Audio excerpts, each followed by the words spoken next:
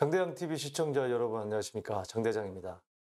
자, 최근에 2030의 청약제도 어, 대폭 손질했었죠. 이제 규제 지역 안에서도 이 추첨을 받을 수가 있는데 자 어떻게 달라지고 올해 어떤 좋은 단지들이 청약을 기다리고 있는지 이 기회를 놓쳐서는 안 되겠습니다.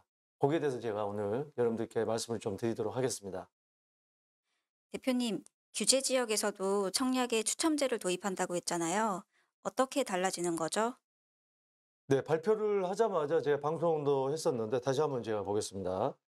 규제 지역에서 청약 개선한 그러니까 이제 비규제 지역에서는 전용 85제곱미터 이하가 가점이 40% 청약 가점으로 당첨될 수 있는 게 40%고 추첨이 60%고 전용 85제곱미터 초과는 추첨이 100% 어, 현행대로 지금 유지가 되는 거고요. 자, 이제 투기과열지구나 조정대상지구 그러니까 규제 지역이죠.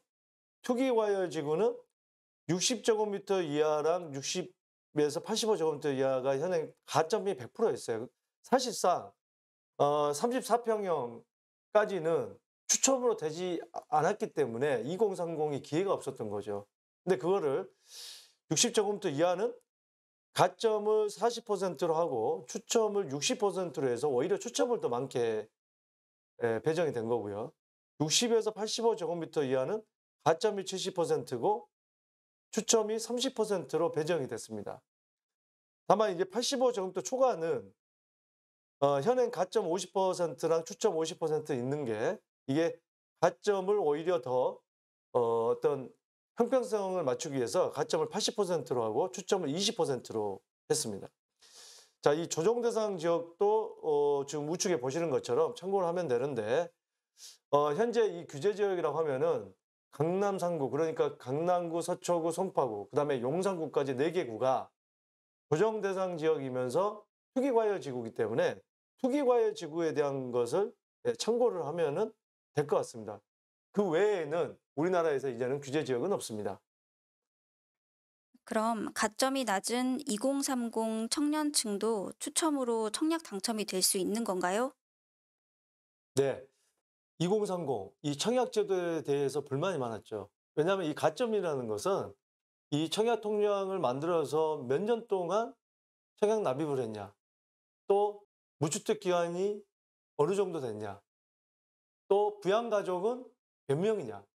자, 그렇기 때문에 사실상 이 결혼을 하지 않는 2030, 또 특별공급도 마찬가지입니다. 특별공급도 기본적으로 어, 신혼부부라든지 신혼부부 특공이라든지 생애 최초라든지 기본적으로 결혼을 하지 않으면 안 되고 또 애를 많이 낳지 않으면 기회가 거의 없기 때문에 사실상 청약으로는 기회가 없었는데 또 지금 계속해서 초혼이 늦어지고 또 비혼주의 이런 가구들이 많아지다 보니까 지금 이런 분들이 어떤 불만을 많이 가질 수밖에 없고 또 정부에서는 아, 이제는 1인 가구나 비혼주의를 하나의 그 라이프 스타일로 인정을 해주자.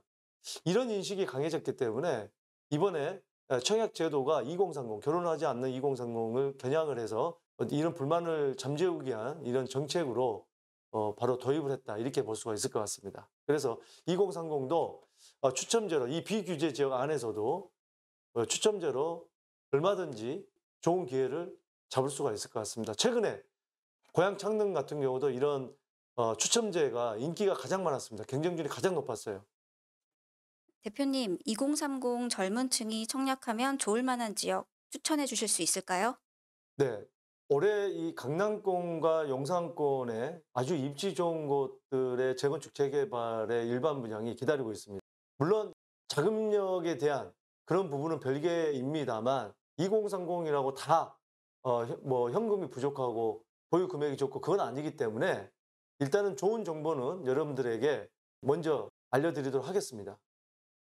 자, 이 용산구에 있는 어, 지금 이 지도에 표시된 지역인데 어, 여기 용산 정비창 길 건너편에 있고 어, 뭐 아모레 퍼시픽이라든지 뭐 이쪽에 가장 가장 이 핫한 거리죠 용산 쪽에서 그리고 어, 지금 용산민족공원도 바로 도보로 얼마 어, 걸리지 않는 곳에 있는 이 단지가 올해 뭐 3월에 지금 분양 예정은 돼 있습니다. 네, 여기는 뭐 세대 수는 많지는 않습니다. 한 110세대 정도 되는데 어, 입지가 굉장히 이 좋기 때문에 여기를 한번 눈여겨볼 필요는 있을 것 같고요. 자, 이 지금 잠실에 잠실 파크리오의 바로 건너편에 있는 바로 이 예전에 진주 아파트죠. 자, 이 아파트가 총 2,700여 세대 중에 분양을 578세대를 일반 분양을 합니다. 예. 굉장히 큰 예, 단지죠. 이게 이제 2023년 올해 하반기에 예정은 돼 있습니다. 그래서 한번 어, 주시를 좀 해보면 좋을 것 같고요. 자, 다음은 이 청담동, 이 한강변에 접해 있는 청담 삼익 롯데캐슬. 이게 예, 삼익 아파트를 재건축한 건데 바로 이 라인으로 쭉 올라가면 이 봉은사역을 거쳐서 삼성역, 이 삼성역과 봉은사역은 지상을 갖다가 공원화하고 지하 6층까지 복합 환승센터, 쇼핑몰까지 같이 들어가서 기 때문에 이쪽 핫한 지역인데 청담동에서 이 재건축 아파트가 천세대가 넘어가는 거는 청담동에서는 아파트로서는 유일하다. 이게 1230세대 정도 되는데 일반 분양이 150세대 정도 약 어, 분양을 하기 때문에 아, 여기는 굉장히 입지로서는 최고의 입지가 아닐까 하는 생각이 듭니다. 예. 물론 비싸겠죠. 다음은 방배 6구역인데요. 이 내방역, 7호선 내방역에서 도보로 한 5분, 7분 거리에 있는 이 방배 6구역. 자, 요 6구역은 총 1,100여 세대 정도 중에 일반 분양이 약 500가구 정도가 예정이 되어 있습니다. 네, 여기는 정확한 분양 시기는 아직 미정이기 때문에 계속해서 발표를 좀 지켜봐야 될 것 같습니다.